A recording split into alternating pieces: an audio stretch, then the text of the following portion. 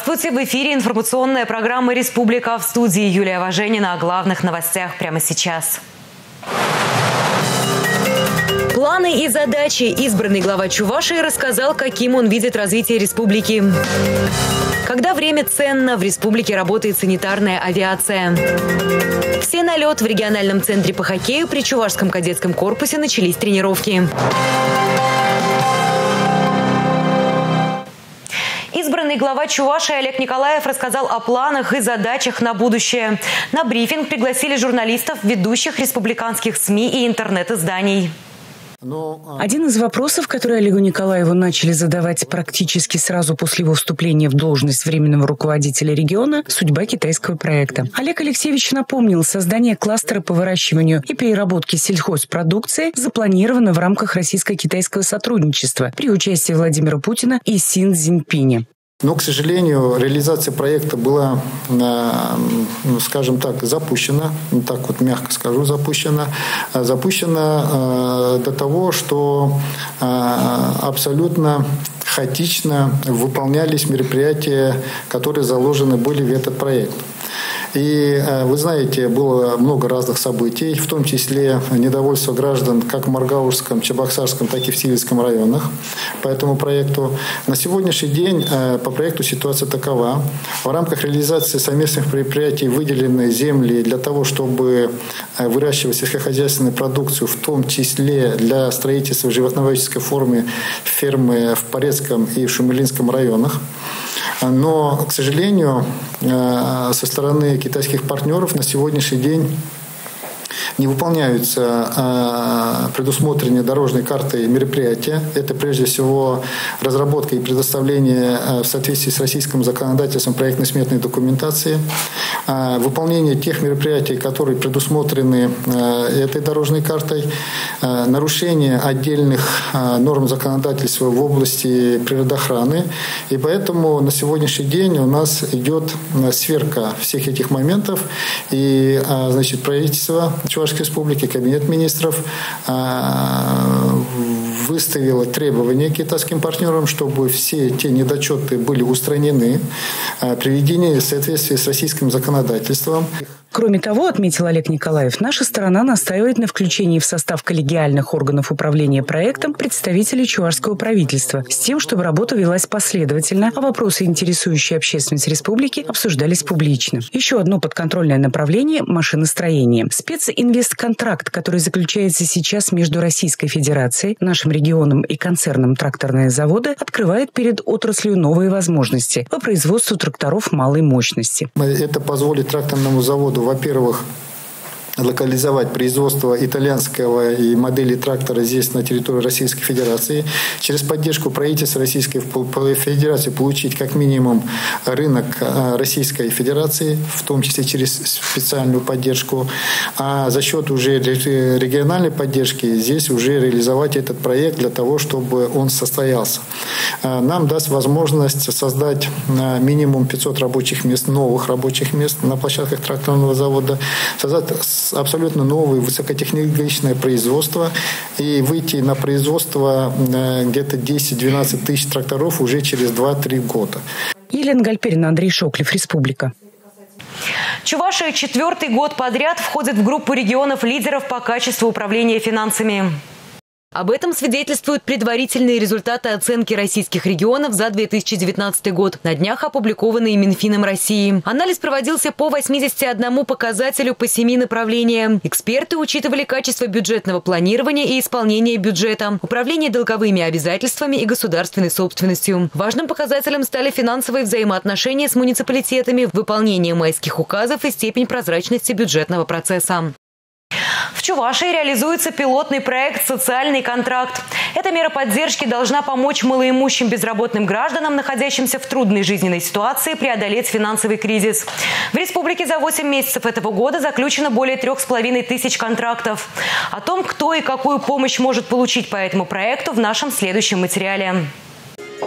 Знакомство со студентами и коллективом, разработка групповых программ и индивидуальные занятия со студентами, у которых возникли психологические проблемы. Татьяна Ахмедшина с этого учебного года работает психологом в Чебоксарском музыкальном училище. Помог ей в этом социальный контракт, который она заключила с Центром социального обслуживания населения. Программа «Социальный контракт» предполагает поддержку в четырех направлениях – обучение, предпринимательская деятельность, материальная помощь и поиск работы. Татьяна выбрала последнее.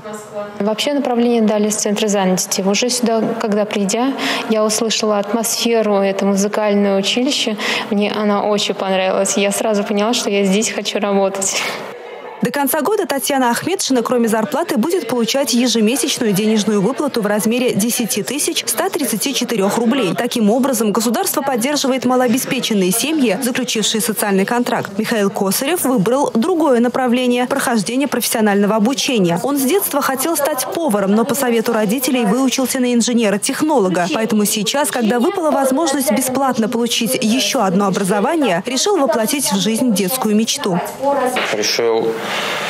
выбрать себе профессию повара, ну, потому что в детстве хотел и умею, и всегда готовлю. Решил в этом назначении себя попробовать. После обучения надеюсь пройти практику и стажировку в ближайшем э, в кафе в каком-нибудь. И надеюсь, что у меня все получится, и буду продолжать учиться и проходить определенные курсы. Есть всякие курсы, чтобы не только в одном направлении, чтобы был как универсал и мясной цех, овощной цех, и мучной, чтобы везде здесь я попробовать и стать универсалом. В период обучения Михаил также будет получать материальную помощь, а именно стипендию в размере 10 тысяч 134 рублей. Кроме того, по условиям еще одного направления социального контракта можно открыть свое дело. На осуществление предпринимательской деятельности единоразово выделяют 250 тысяч рублей. Семьи, попавшие в трудную жизненную ситуацию, многодетные с четырьмя и более детьми, неработающие инвалиды, воспитывающие детей, тоже могут рассчитывать на ежемесячную денежную денежную выплату в рамках четвертого направления соцконтракта. Только по этому направлению в республике помощь получили 2100 семей. Для участия в программе следует обращаться в отделы социальной защиты населения по месту регистрации. Надежда Яковлева, Георгий Кривошеин, Андрей Спиридонов, Республика.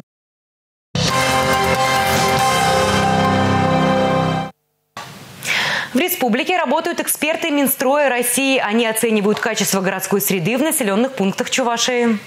Специалисты побывали в трех районах – Ядринском, Маргаушском и Чебоксарском. Так, в Ядрине они оценили почти завершившееся обновление центральной улицы Комсомольской. Территория приобрела новый облик. Сейчас там построена дорога с односторонним движением и широкими пешеходными тротуарами. Вдоль нее установили светильники, рядом появились скамейки, урны и даже велопарки. Завершается реконструкция площади Победы. Представители федерального министерства сделали подрядчику ряд замечаний. Совместно с представителями Республиканского Минстроя и Общероссийского Народного фронта эксперты намерены побывать в Шумерле, Алатаре, Канаше, Новочебоксарске. Там тоже идет реализация федерального проекта формирования комфортной городской среды.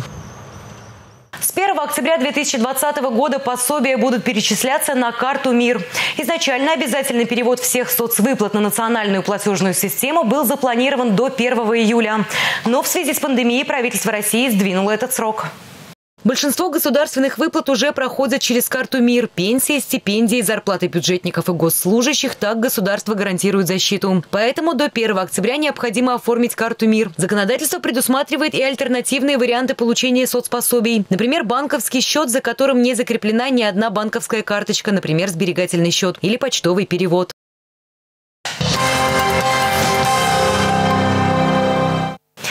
Звук вертолета над республиканской клинической уже стал привычным. Сегодня в лечебное учреждение доставили очередного пациента. Мужчина поступил в Канашский медицинский центр с множественными ножевыми ранениями. После оказания первичной помощи консилиум принял решение транспортировать его в столицу республики. Уже десятый пациент, которого доставили в больницу на вертолете. Сегодня помощь потребовалась пациенту в особо тяжелом состоянии. Полет из Канаша в Чебоксары занял 28 минут. По трассе на доставку шло бы в три раза больше времени. Пациенту 54 года. Значит, пациент э, поступил 14 сентября в Канарский э, медицинский центр. Его доставили в ОПО привели все необходимые мероприятия, оперативное лечение. Состояние больного сейчас тяжелое, но стабильное. А, и уже после всех необходимых проведенных мероприятий, после всех э, э, лабораторных, инструментальных методов исследований принято решение уже о транспортировке пациента в таракальную хирургию.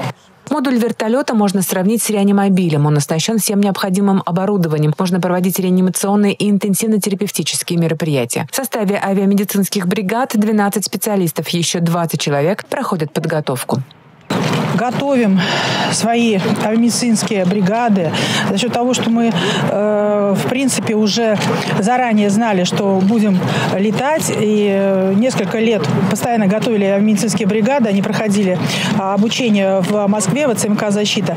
Мы, конечно, готовы транспортировать множество патологий, серьезных тяжелых пациентов. И если сейчас мы занимаемся в основном межгоспитальными перевозками, то в, вообще в перспективе это, конечно, крупные ДТП. Э, пострадавшие в крупных ДТП – это дети. А вы знаете прекрасно, что многоэтапность, если исключать, при таких вот серьезных ДТП, это черепно-мозговые травмы, нейрохирурги, конечно, очень обычно говорят, что нужно вот именно исключать многоэтапность. Это позволит нам гораздо э, э, высокоэффективно оказывать медицинскую помощь, в том числе детям.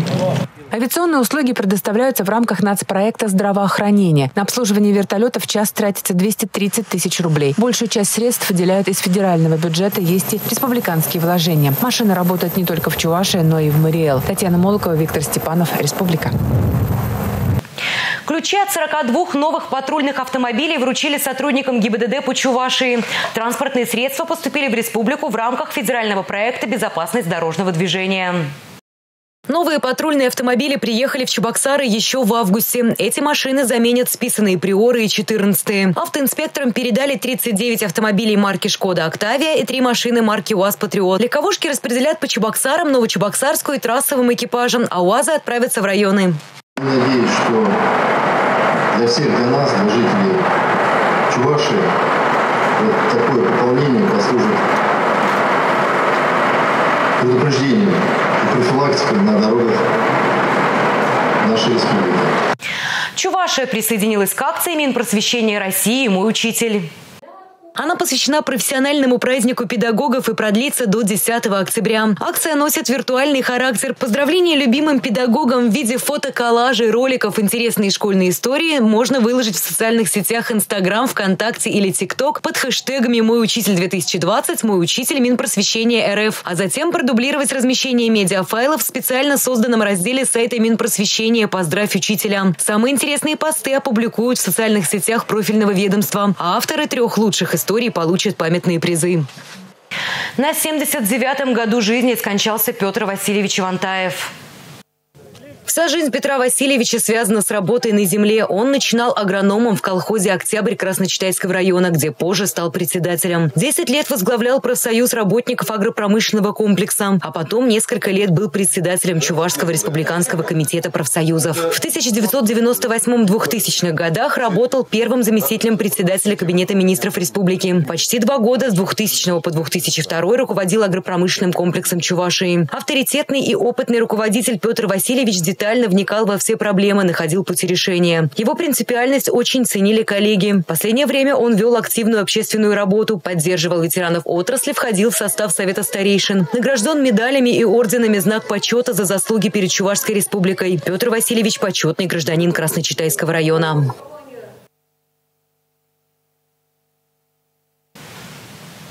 Традиционный профилактический рейд «Нетрезвый водитель» пройдет в Чувашии 18 и 19 сентября. Его проводят в большинстве регионов страны уже в десятый раз.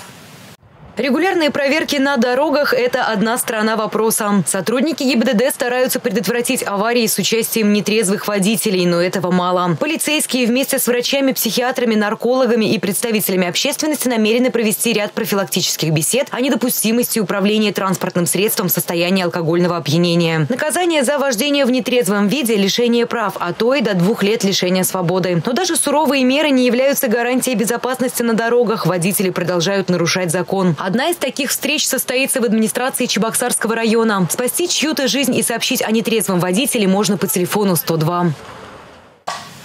Республиканская станция переливания крови приглашает чебоксарцев принять участие в субботней акции.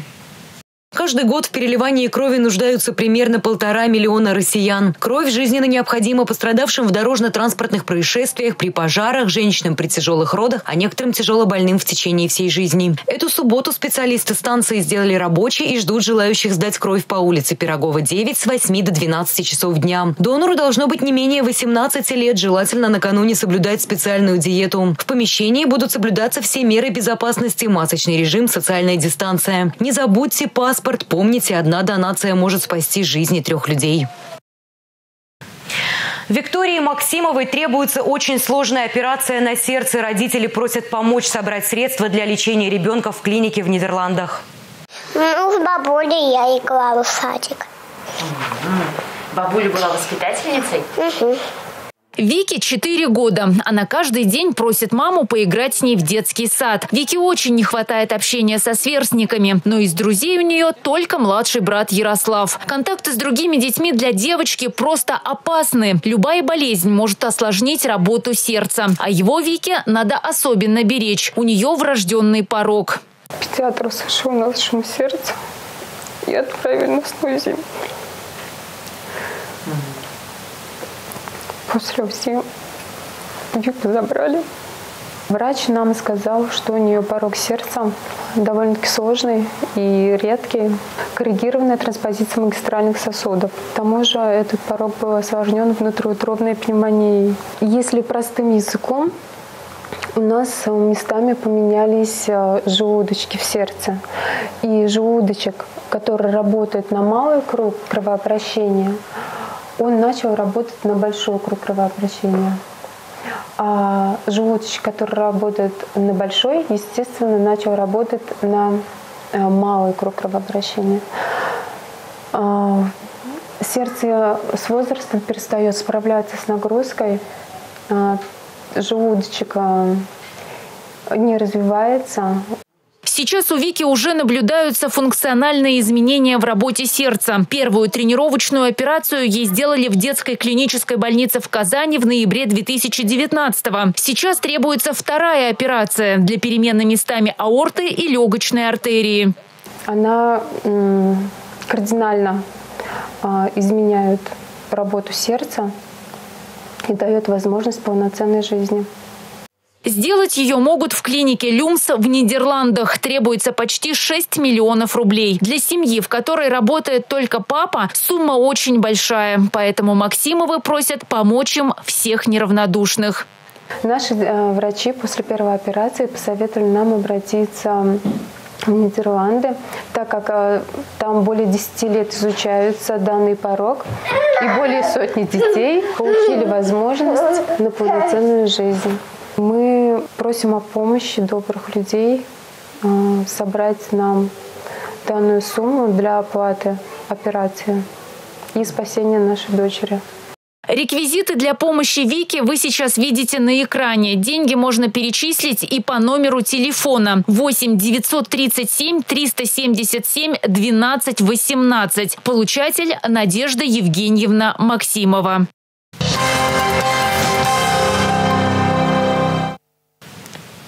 3D-живопись – так свое творчество характеризует Константин Долгашов. На днях художник стал лауреатом государственной премии в области литературы и искусства.